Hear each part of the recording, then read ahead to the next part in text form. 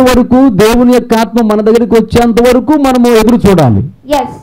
అవును And this is a small topic about the fasting. ఈ చిన్న మాటలు నేను మీకు ఉపవాసం గురించి చెప్పాలనుకున్నాను చెప్పాను And give, uh, thank you for giving this uh, wonderful opportunity. దేవుడు నాకు ఇచ్చినటువంటి ప్రత్యేకమైనటువంటి సమయాన్ని బట్టి దేవునికి స్తోత్రాలు చెల్లిస్తూ ఉన్నాను Amen.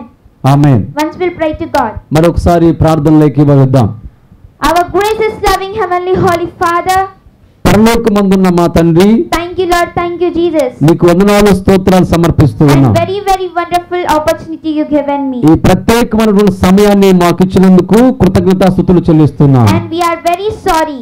మీ- ఆ, మమ్మల్ని క్షమించమని కోరుతూ ఉన్నాం From today onwards, ఈ ప్రత్యేకమైన సమయంలో మీరు ఈ రోజున మీరు మాకు ఇచ్చినటువంటి వాక్యాన్ని బట్టి from today onwards, we want to, talk with you.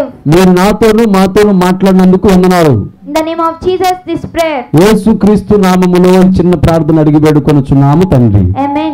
Amen The victory of Calvary cross blood in the name of Jesus. యేసు రక్తమే జయము సిలువ రక్తమే జయము యేసుక్రీస్తు నామములో ఈ ప్రార్థన అడిగి వేడుకొనుచున్నాము తండ్రి Amen.